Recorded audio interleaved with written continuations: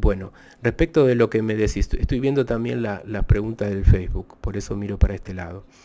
Eh, cuando hay un hijo en común entre dos personas, ¿no? Que realmente se han herido, se han hecho de todo, y bueno, el hijo va a ser un nexo en donde las dos personas se van a tener que hablar, ¿no? Es, el punto de unión por el, por el cual van a tener que comunicarse. Entonces suele pasar al principio que a veces eh, el hombre para castigar a la mujer no le da dinero al niño, a la niña, vuelve loca a la mujer. A veces sucede al revés, ¿no? Que la mujer para castigar al ex que se fue con otra, no le deja ver los niños, le hace la vida imposible. Bueno, eso puede ocurrir al principio, pero después uno se tiene que superar como persona.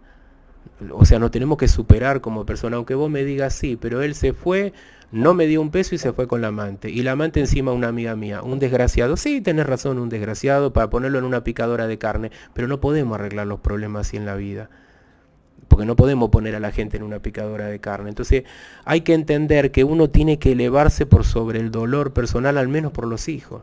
Si al principio no se pudo hacer porque estabas muy enojada, porque estabas muy cabreada, muy herida, bueno, se entiende, pero pasan los meses y hay que intentar lograr un equilibrio.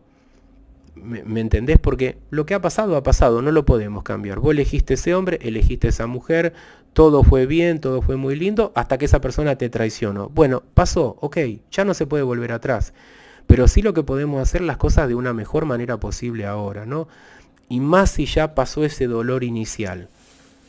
Entonces ahí es muy importante trabajar, eh, digamos que la limpieza, eh, alinear los chakras, los baños, descargarse escribir la carta, despedirnos, hacer ejercicios de liberación emocional, o sea, liberarnos un poco y trazar un plan. Un plan es, bueno, a ver, me voy a encontrar con mi ex o hablar simplemente para hablar de la cuestión de los hijos y voy a tocar este tema, este y este. Nada más, no me voy a salir de este libreto. Porque la clave está ahí, no salirse de lo que uno eh, acordó hacer.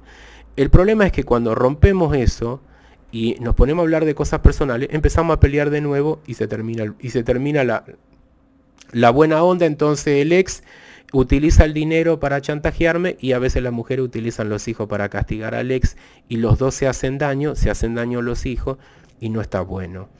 Entonces, podés tener toda la razón respecto de que tu ex te jodió, te lastimó, es una mala persona, puedes tener toda la razón, pero en algún punto hay que actuar con más sabiduría, con más inteligencia. No estar esperando la venganza o que la persona pague. Eso va a ser toda una pérdida de tiempo. Lo importante es ver qué hacemos con la vida ahora, ¿no? Ok, esto fue una gran desilusión, ya está. Ahora, ¿cómo sigo mi vida adelante? Porque hay una vida por delante. Eh, ayer me decía una persona, tengo 50 años, me dejó mi marido, nunca fui a estudiar, nunca trabajé y ahora me encuentro sola en la vida, entonces todo mal. No, todo mal no quizá todo bien, quizá ahora, de una buena vez por todas, los 50 años, empezás a vivir y no dependés de un hombre y te hace cargo de tu propia vida y te puede ir re bien. Pero si vemos todo lo negativo, cómo me dejó, cómo me hizo esto, no me dejó estudiar, eh, no me dejó trabajar, bueno, ya está, ya está, ya el, mal ocurrió, ¿no? No hay que permitir, ninguna mujer permita eso, que, un hombre haga, ¿no? que, que no les permita estudiar, ni trabajar, ni ser usted misma, porque el día de mañana si la deja, usted después no va a saber hacer ni un huevo frito. No se la va a arreglar, no va a saber buscar trabajo, no va, no, no va a estar calificada para trabajar. Entonces no permitan que los maridos hagan cualquier cosa y no les permitan nada. No hay que permitir eso. Entonces, bueno, si ya lo permitiste porque no sabías, porque no estabas empoderada, bueno, ya está, no podemos volver atrás. Pero de acá en más hay que hacer las cosas de otra manera. Quizá de acá en más por primera vez en la vida empezás a vivir.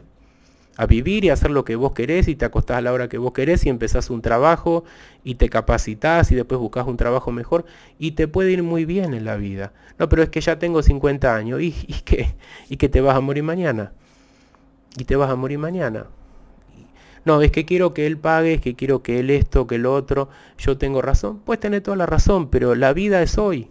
Entonces hay que aprovechar la vida, no hay que perder tiempo en discusiones, peleas con ex y bueno, si uno está un poco herido, un poco enojado por eso, bueno, se entiende, ¿no? Que durante un tiempo uno pueda estar así. Pero después hay que hacer clic y, y despertarse y decir, basta, estoy perdiendo la vida en esta persona, no vale la pena.